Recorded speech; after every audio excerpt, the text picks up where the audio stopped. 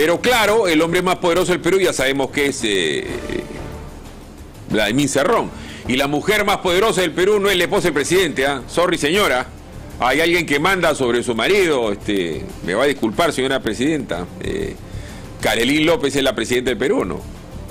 A ver, si Karelín López se le da la gana de hablar, la vacancia por incapacidad moral se le cae pues del techo de Zarratea o de la oficina en Petroperú o de la punta de la bandera de Palacio de Gobierno, ¿a quién? Al presidente de la República. Claudia Toro, para variar, la fue a buscar, porque eso es lo que se tiene que hacer, ¿no? Cuando tú quieres saber algo de alguien, le tocas la puerta de su casa, le mandas una carta, carta notarial, todo lo que este chiquito Christopher Acosta no se le ocurre que se tiene que hacer, ¿no? Digo, simplemente a, colación de ello. Bueno, eh, Claudia Toro, siendo como es, quiere saber de la señora y le va a buscar. Y cuando la va a buscar, pasa esto. Veamos la nota eh, en donde, claro, si estuviese Quique Bravo Prado, le diría, Quique, búscame el significado de la palabra lumpen, aunque ya lo sabemos. Veamos. La trampa de Carolín López Arredondo, la lobista más peligrosa del país, la más buscada y la más protegida por la policía, la fiscalía y los grupos políticos que la resguardan para evitar que las pruebas de lobbies, contratos, paquetes y millones de soles del presupuesto del Estado salgan a la luz. Ya, huevón,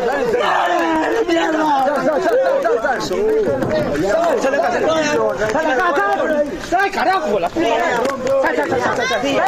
prensa! la prensa! ¡Me estás agrediendo! ¡No me agredes! ¡No me agredas! No, flaco, tienes que estar grabando porque eso arma te voy a quitar. Ella es un poco, que estar grabando. un poco frescote. Sí, sí. Estos huevones de niña, falta de respeto acá. ¿Qué pasa si te quitan la, quitar la cama, todo? Si te faltan el respeto, vas a, te vas a quejar. Entonces, no, si usted me está amenazando que me va a golpear, que me va a quitar la cama, que me va a robar, es otra cosa. Te pueden quitar por acá no, asaltan. Acá asaltan. ¿Quién asalta? roban. Bueno, lo único que nosotros queremos es preguntar para poder entrevistar a la señora Carolina López. No, no entrevista de nada, puedes retirarte. Ya, se acabó el tiempo. Entonces deja de acosar, no estás viniendo siguiendo todo el camino. ¿Qué te pasa? ¿Viste este problema? ¿Qué te pasa?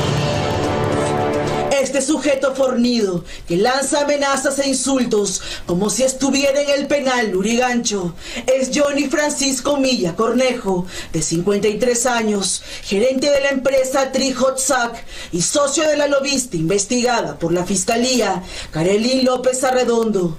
Johnny, quien aparece en estas fotografías con otra señora, es el esposo de la mujer que se ha negado a acudir al Congreso de la República a dar explicaciones promise Sí, la misma Carolín López, que tenía el poder para reunirse con el presidente de la República, Pedro Castillo, y la misma que entraba y salía de la casa de Zarrate en Breña, la mujer que posee las pruebas que pondrían en jaque a este gobierno, la que cargaba bolsas de rafia y la que posee muchos secretos. Carolín, la mujer que aparece en esta ventana gritando como si estuviera poseída, era la mujer de enlace y una persona cercana a Pedro Castillo. ¿Quién invitó a Carolín López a la casa de Breña? ¿No has preguntado en algún momento? Yo le dije, Ray, ¿a qué vino la chica? No, vino a, a buscarlo a mi tío. ¡Ratero! ¡Vive de mi plata! ¡Eso es lo que es! Y dile a esa gorda Pues bien, Karelín López, quien se rehúsa a dar entrevistas pese a todas las denuncias en su contra y las investigaciones en el Ministerio Público, no ha perdido ese toque orate que la caracteriza. Ella se siente protegida no solo por la policía, por la fiscalía, sino además por un grupo de poder político y mediático, el mismo grupo que decide si ella se convierte en colaboradora eficaz o no. Carolín López, queremos hablar con usted. Señora Carolín, señora Carolín. ¿Puedo conversar con la señora Carolín? A ver, ¿pero qué me dice? la televisión, ahí está el, No, tú no puedes intervenir. ¿Tú tienes una orden para venir acá? ¿La policía te ha acercado y te dice que te retires? La señora está viniendo sola hacia acá. ¿Qué pasa si te quitan la, quitar la cama, todo? Si te faltan el respeto, vas a, te vas a quejar. Entonces, no, si usted me está amenazando que me va a golpear, que me va a quitar la cama, que me va a robar, es otra cosa. Te pueden quitar por acá no, asaltan. Acá asaltan. ¿Quién asalta?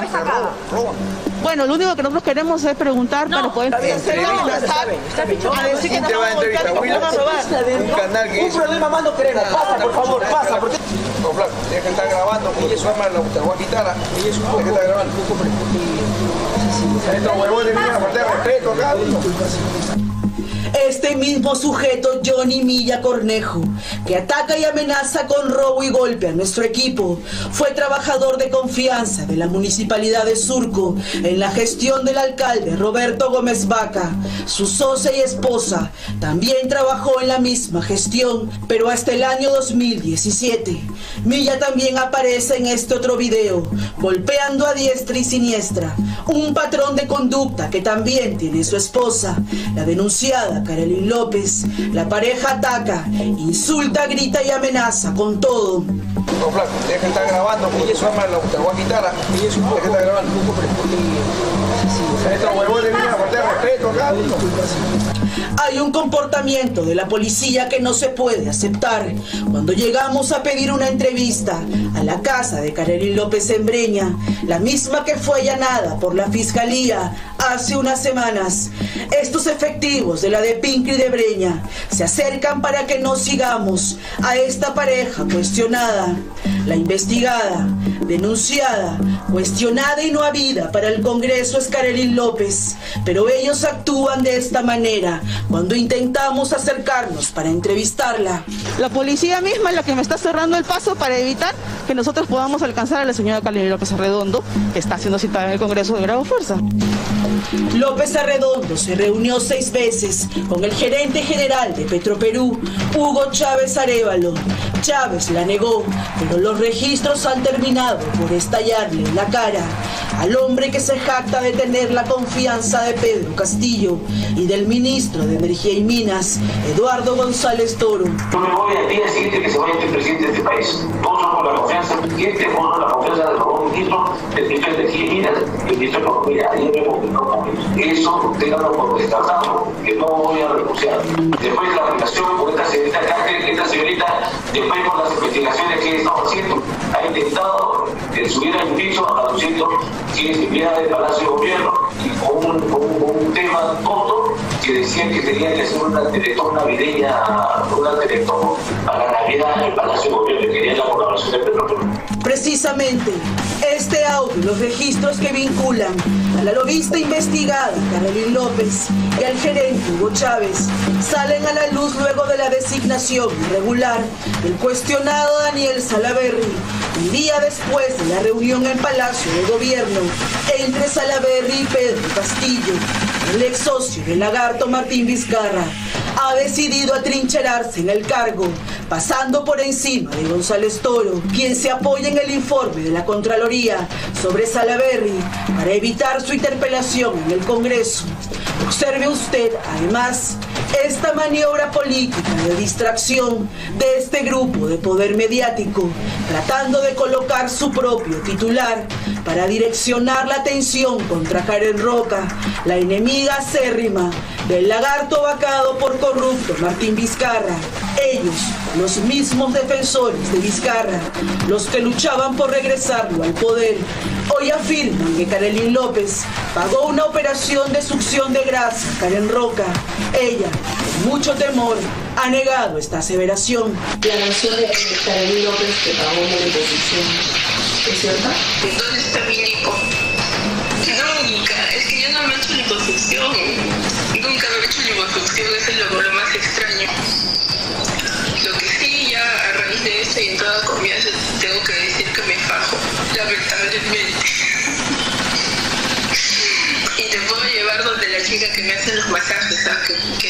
bien, te hace doler, pero no es ninguna, no hace, no hace liposucción. ¿Cuál era tu relación con ella? ¿Una amistad, cercanía o ella quería estar cerca del tipo de cargo que tenías? Yo la conozco a ella, exactamente no recuerdo qué fecha, pero fue uno de los, el, el primer, el primer año que Vizcarra entró como presidente,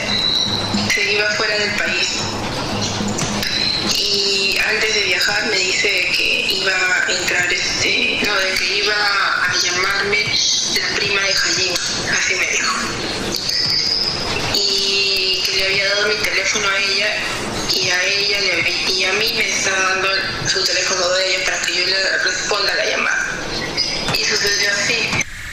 Aún así, con lipo, sin lipo, todos estos elementos solo sirven para desviar la atención contra Pedro Castillo, las licitaciones corruptas y sus vínculos con la lobista López Arredondo. En ninguna parte de esta nota señalan la fiesta que Karelin López pagó para la fiesta infantil de la hija del presidente Castillo. con ella dos veces por el tema de la de, la coordinación ella me agradeció, gracias por ir. Ahí me enteré que fue ella que hizo la conexión. Ya entré de frente con Alondrita, que no me soltaba la mano, estaba muy emocionada, estaba feliz. Fue algo muy sencillo. Cuando Castillo creía que un dominical publicaría un audio demoledor, pero todo resultó siendo un humo de domingo. El hombre del sombrero dijo que en este supuesto audio que saldría a la luz se hablaba de recaudar fondos para la Navidad de los niños sin recursos. Curiosamente, este es el mismo discurso que usa Bruno Pacheco, el hombre de Castillo, para justificar las entradas y salidas de Palacio y las reuniones de Castillo y la lobista López Arredondo. Se reunían en Palacio, se reunió con usted, con el señor Pedro Castillo. Conmigo se ha reunido, sí lo digo. Así como ella se ha reunido varios empresarios, varias personas que han ¿Qué tenido. trataron estas reuniones? ¿Con quién? ¿Con la señora Carolín? Su tema de presión social, que hacer una Navidad Teletón así para toda la gente del Perú. No cabe duda que Karelin López es en este momento la mujer más peligrosa, avesada, experimentada, recorrida y toda una chica dinamita. Lo que esta mujer sabe y puede probar haría que el sombrero finalmente salga de palacio.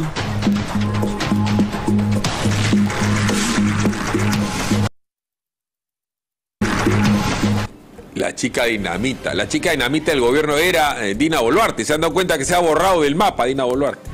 Otra de las muchas personas que hablaba y ahora no puede decir nada, pues que ni de Salaberry, ni de Abudayén, ni de Carelín López, ni de La Barrera, ni de este lumpen que está manejando el Perú. Solamente el hecho de que se nieguen a decir con quién se reúnen ya, pues te dice que es un presidente mentiroso, ¿no? Que es un presidente, presidente esquivo el que tenemos. Comienza el día con el primer magazine del Perú. Noticias, reportajes, entrevistas. Efemérides, cultura, mercados. Espectáculos. Y todos los deportes. Con el mejor análisis del acontecer político. De lunes a sábado de 6 a 10 de la mañana. Por Willax Televisión y PBO Radio 91.9 FM. La radio con fe. Los astros te serán propicios en PBO. En Facebook, Twitter y YouTube. Suscríbete y activa las notificaciones. A veces es difícil elegir qué mascota tener. Gato. Perro. Gato. Pero para elegir tu lote, Facilote. Obvio. porque comprar tu lote es facilote. Elige cómo. Ingresa a terreno.pe o llámanos al 616-9009. Centenario.